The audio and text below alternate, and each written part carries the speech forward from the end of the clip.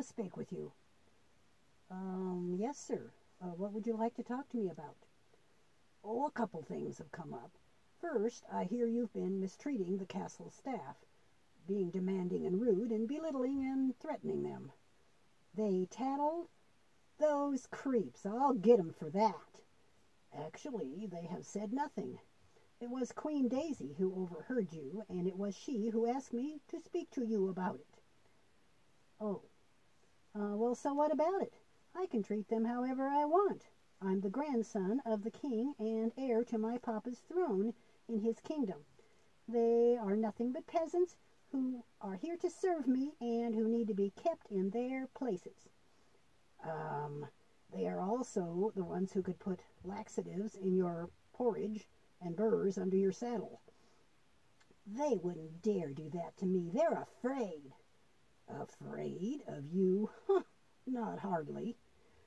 Not only would they do it, but if I catch you acting like that, I'll give them the laxative and harvest the burrs for them. You wouldn't do that. Don't try me, kid. That attitude will not serve you with anyone. It's a king's destiny to serve his people, not abuse them. Yeah, well, unlike Grandpapa believes, I don't need their love, just their obedience. You won't get that either with that attitude. Do you, uh, think you need God's help, Elion? Uh, what does God have to do with this? Well, in His Word, the book of Proverbs, there are numerous teachings about pride, which is arrogance, among them that God hates the proud, and that pride leads to destruction and war and downfall and punishment. Humility, on the other hand, brings wisdom, honor, and great success. Then there are Naaman and Nebuchadnezzar. Um, who? Naaman in Kings 5, that's 2 Kings 5. Um, he was a valiant soldier in the army of Syria, an enemy nation. He was highly respected even by the king, but he had leprosy. Ooh, isn't that a contagious skin disease that can kill you? Yes. A servant girl who'd been captured from Samaria told Naaman about Elisha, a prophet of God who could heal such diseases. Political arrangements were made for Naaman to go, and a gift of gold, silver, and fancy clothing for the prophet was carried along. Naaman and his escort pulled up their chariots in front of Elisha's front door, and the prof, uh, expecting the prophet to come out, call upon God, wave his hand over the diseased skin, and heal it. The prophet would then gratefully accept the gifts, and Naaman would go home all well and happy. But that's not what happened. No? Well, what did happen? Well, Elisha sent his servant out to tell Naaman to go wash himself in the Jordan River seven times, and he'd be healed. Whoa, talk about disrespect. I'd have been furious.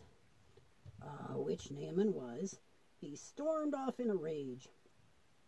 But his servants pleaded with him, saying, Master, if the prophet had told you to do something difficult, you had, would have done it. Isn't it worth a try? Yeah, they couldn't have convinced me to do it, not after an insult like that. Well, they didn't want him to die, and they apparently loved him. Um, did Naaman do it? He did, and was completely healed. There's a lot more to this story, but Elion, think about it. Uh, would it have been better uh, for Naaman to stick to his pride and die of a horrible disease? Well, um, well, what about the other guy, Nebuchadnezzar? Wasn't he a king? Yes, he was. He was a king who thought he was God, and he ended up living in the fields like an animal for seven years before he learned about pride. Oh, God hates pride so much that he would do that to a king? Wow. Kings are not all that special to God, you know. You should think about that. Oh, and one more thing. Do you remember the boy with whom you teamed up at the picnic for that game of nine pins? Yeah, he wasn't bad for a peasant. What was his name? Dan. Oh, yeah, Dan. And what about him? Well, Dan will be studying with you from now on. What? No way! Absolutely not! Well, not that you have anything to say about it, but uh, why not? Uh, because he's a peasant and he doesn't need an education, especially an education equal to what Lily and I are getting. And what about Lily? She can't be in a room with a boy like that for hours every day. Oh, Lily will be studying everything but history and mathematics from your grandmother from now on. Dan's mother died when he was very small, and his papa died heroically in service to this kingdom. The least we can do is educate his son. So beginning tomorrow, you and Dan study together.